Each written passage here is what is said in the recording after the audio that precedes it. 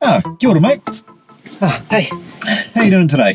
Yeah, no, good, good. Well, thank you for coming along to the interview. I know it's a bit weird uh, conducting one of these in a car, but here at Flat Earth Industries, we find that we do our best work while we're in cars or in garages.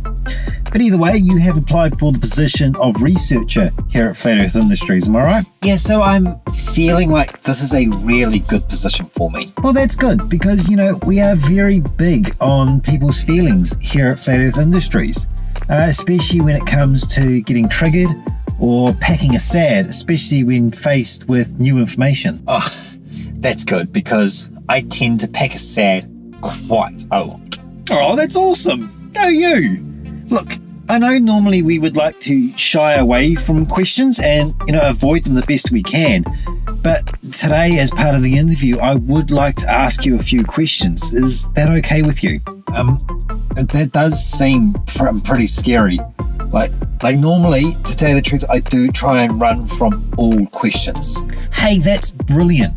Running from questions is one of our core values here at Flat Earth Industries.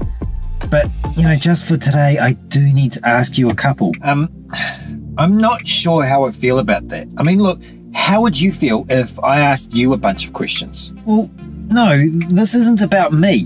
I need to find out if you are the right fit for the role. Well, why do you want to know that? Like, look, I'm getting really upset with you already trying to censor me so much. I mean, I'm going to have to watch some YouTube and calm down. One hour later. Are you okay now? Much. Thank you. Okay, look, I will agree to three questions. Limiting exposure. I like that. Um, but look, my first question is, you know, what is your research methodology like? Okay, not like that's any of your business anyway, but what I would normally do is watch a video from a fellow truther, you know, to confirm my biases. And well, if that doesn't work, I'll just make shit up. That is brilliant. As a researcher, we do like it when you limit your sources to, say, just your imagination or YouTube. Oh, I completely agree. Okay, so we'll stick with your research. Um, can you tell us normally how many tabs do you have open? um, okay. I um, wasn't expecting this to get so personal. I just need to know so that we can measure your IQ. Ah, well, in that case, 50. Which is more than you, I bet. Wow! That's amazing! You must be very, very smart.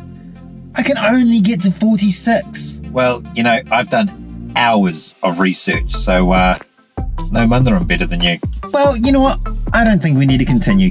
You have shown that you have met all the criteria we need here at Flat Earth Industries. You know, I think I'm ready to offer you a position to start immediately with us. Wait, what do you mean you're ready? Like, I'm getting really sick and tired of your crap. Ser- seriously, I want to speak to your manager.